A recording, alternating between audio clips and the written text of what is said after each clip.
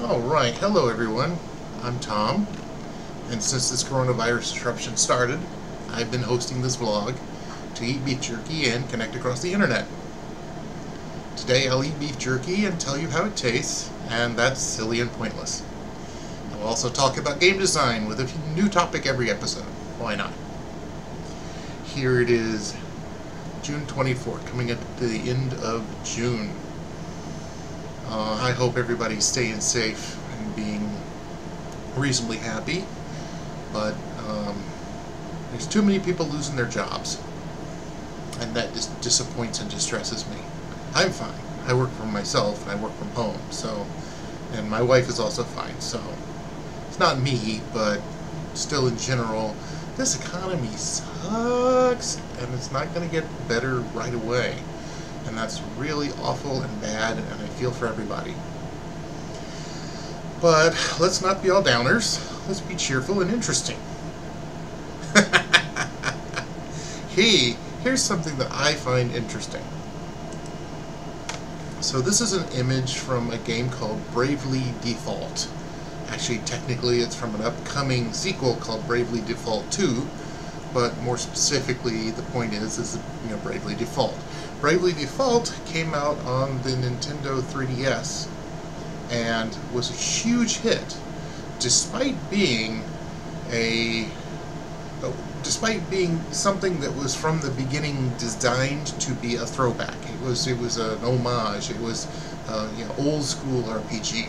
And by old school, what do I really mean? I mean turn-based. Um, from the beginning of RPGs, RPGs have been turn-based. If you set the clock back as far as it will go to the beginning of computer games, um, role-playing games, games inspired by Dungeons and Dragons have been uh, games where you know you you you hit the monster with a sword, and then they hit you with a sword or a claw, and then you hit the monster with the sword again, and they hit you, and, and so on and so forth until somebody falls down and dies. That's been the basic combat mechanic. Why? Because it's the basic combat mechanic of Dungeons and Dragons. Dungeons and Dragons, like, like the blues, is the fundamental root of all rock music. So Dungeons and Dragons is the fundamental root of all role-playing games, and especially computer role-playing games a fundamental root. Um, which is why if you can find a computer role-playing game that is not inspired in any way by Dungeons and Dragons, that's a pretty radical, rare thing. Uh, but anyways, getting back to this, it, I think it's interesting for a couple of reasons. First off, well, you know, it, it was very popular and uh, it was on the 3DS, which not a lot of people play, but now the sequel sometime this year shall come out on the Nintendo Switch. So I'm kind of looking forward to that, but, you know, um, and I'm working on some kind of light RPG projects of my own right this very second, so I'm interested in RPGs and RPG stories and RPG game mechanics. Um, and, uh, and this was kind of interesting because of its, uh, you know, deep turn-based gameplay, um, and, and how, uh, what I had read is that uh, when it came out, it exceeded all expectations of its popularity, uh, and people feel that the the the uh, the executives at the companies who made it uh, expected that action-oriented uh, hack and slash um, action games were more what the kids wanted, and therefore the turn-based game was you know old and busted. And to their great surprise, it was a very popular uh, products, so they were forced to reevaluate what they thought of as turn-based versus you know real-time action games. Um, and I think to me that speaks of the fact that our, our video game industry globally is huge. It's so big. It's literally bigger than all movies. Uh, movies have not made as much money as video games for many years now. Uh, video games are big and they're everywhere, and and part of the thing is, you know, the truth is is that Hollywood makes movies in a very specific format with a very specific screen ratio, two hour to three hour running, one and a half to three hour running time depending. The sweet spot is supposed to be at just shy of two hours.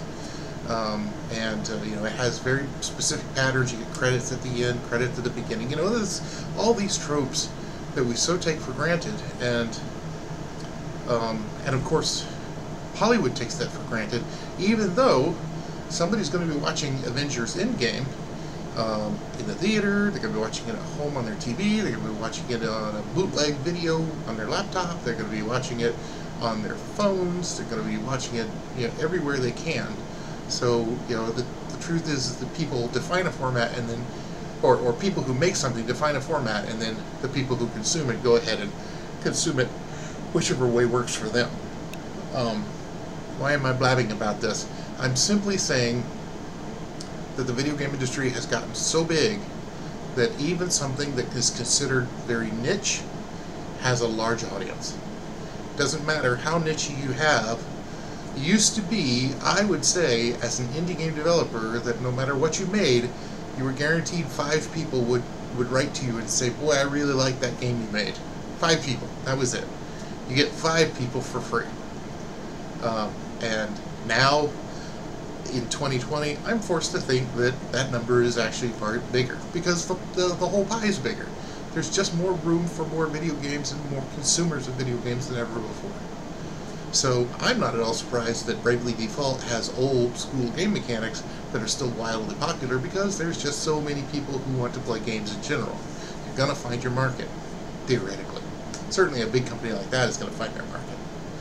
And I guess the other the other thing that I wanted to say about Bravely Default and you know modern day RPGs uh, is that uh, as I've been reading about Bravely Default, I've been learning that it really has some really interesting, innovative tweaks. Uh, like for instance, um, when you're playing and running around like any RPG, you get uh, random battles, and and most people, oh, I hate those. Well, Bravely Default solves the problem simply by letting giving you a slider bar. You can have 100%, 50%, 23%, or 0% random battles. Which means that if you don't want to be bothered on your way to the big boss, you drag it down to 0% and you don't get any random battles. And if you want to grind in a specific area, you go to that area and drag it up to 100%, take two steps. So, uh, so simple, so brilliant. Fixes so much. Uh, the other thing that, that Bravely Default does as a, as a little tweak is it has, you know, all the little battle animations and, um, and uh, you know, the, the, the normal turn-based combat, which can be slow. So it just gives you a slider bar so that you can adjust the combat speed overall. So if you want to go to play the whole thing in 400 times combat speed, boom, boom, boom, boom, boom, you're welcome to. It just doesn't, you know, it's just a speed adjustment. Um, so I I, I, have yet to get into Bravely Default. I know that the people who did it moved over and did a game called Octopath Traveler, which many of my friends played and truly enjoyed. Um, so, you know, they seem to know what they're doing and they're having a lot of fun making that and people are having fun playing that. Uh, yeah, so that's what I wanted to say about Bravely Default. Now, let's talk about jerky. I've been dipping into my bag of just odd, weirdo beef jerkies. And what we have today is People's Choice beef jerky, garlic and ginger, or just garlic ginger. So this is going to be a weird one. I don't know how hot it's going to be, but I know it's going to be weird. So why don't we get to it?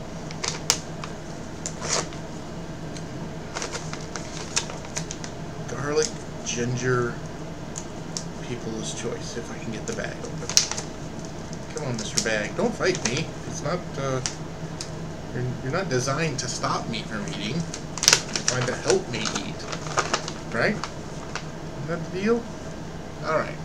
It's got little, uh, sesame seeds all over it. It's advertising the fact that it's, uh, jerky. Tastes, uh, smells like jerky, so...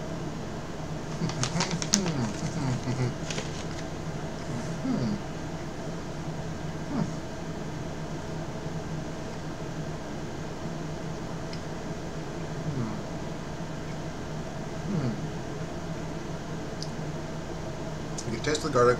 I taste the ginger. there was a piece of that that tasted almost, or, or had the, was uh, not tough. It was almost like a fatty piece. Though it might have been maybe the covering. But interesting though. Uh, definitely tastes the garlic, tastes the ginger. Waiting to be kicked in the mouth by the heat. I don't think it's going to happen. Um, yeah, I would say a little bold, a little oddball. Yeah. All right. If we crack open the mailbag, Adam Para has once again, as he has never failed us, he did not fail us again this time. Last time, uh, I, uh, I, I, I uh, responded to his previous reply about Godzilla, and he's, he writes, Thanks for explaining the relationship. I knew they really reused footage. I wasn't sure to what extent. So I'm thinking about having another uh, tricky thing where I talk about Eiji Tsuburaya. But, and while that's a very interesting topic, the, the, the, the essentially the godfather of Godzilla, um, I think that in terms of reuse of footage, yes, uh, a lot of the cheaper giant monster movies reuse footage. In fact, the Gamera series, not made by Toho, but by its competitor Daiei Studios, um, was famous for padding out their bad Gamera movies with footage from the previous Gamera movies. Oh, it got bad. And each Gamera movie essentially was made on a cheaper budget than the last until it just got bad. I mean, it was bad, bad, but now it's bad, bad, bad. Uh, Gamera is famous for that. Uh, at least in the in the Showa era, the old you know black and white and 60s 70s era. Um, Godzilla reused some footage, but not that much. Um, and I don't know that the that the, the special appearance he made in uh, an Ultraman style show, uh, Zone Fighter, that's the actual name of the show that he had a, uh, a cameo in an episode of Zone Fighter. It's Ultraman uh, early days. Um, and the reason for that is, again, because a guy in a suit back in those days was actually pretty cheap and easy to do. And in truth, it was all one big company doing it all anyway, and that was Tsuburaya Productions. Eiji Tsuburaya was giant, and his studio was a giant. If somebody was making a show and needed a rubber suited monster, they went straight to him and there was nobody else in Japan to go to for all intents and purposes. So what I'm trying to say is, is that you may think Godzilla footage was liberally reused. Uh, not not always, and that's because Godzilla suits weren't hard to come by and weren't expensive to use. Um, it's just you know it's just how it was. Uh, so at any rate, it's you know it's uh, yeah he, uh, Adam also writes, you being 8th level Godzilla fan are Space Monsters and Artemis because of your love of God, giant monsters. And I have to say, Adam, know that my the, the, the space monsters in Artemis are because of my love of whales. And obviously, whales being as big as they are, I wouldn't be surprised if there's some sort of crossover in my psyche between giant monsters and whales.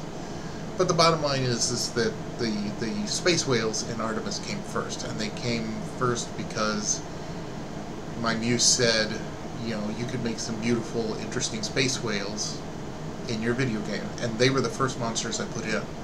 Um, and they weren't actually very interactable.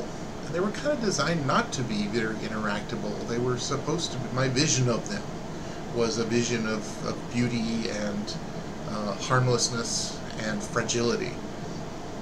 But everybody loved them, and I had code for months or, or for, for whales, so it just made sense to me that they, people would want more than just whales. So after I did the whales, for the reasons I did the whales, because I love whales, I then also expanded the game to have another half dozen monsters. So that's that's the story of how monsters came to be in Artemis. It wasn't really because of Godzilla. It was more because of I like whales. So, all right. Well, we ate, and by that I mean I ate, People's Choice beef jerky garlic ginger. And I found it weird and bold, but not really offensive or anything. And it wasn't as surprisingly hot as I as it could have been. I mean, which is to say, it could have snuck up on me and been hotter than I wanted. Um, so, interesting. Alright, that's it for today. I appreciate you stopping by and watching. So, catch you next time. And hey, if you if you want to be notified whenever I make one of these videos, you've got to click the little bell button on YouTube. That's what allows you to get notified so that, you know, hey, I just Tom made a new video. I guess I'll watch it. You want that, click the little bell button. That's what it's all about. All right, I'll see you next time.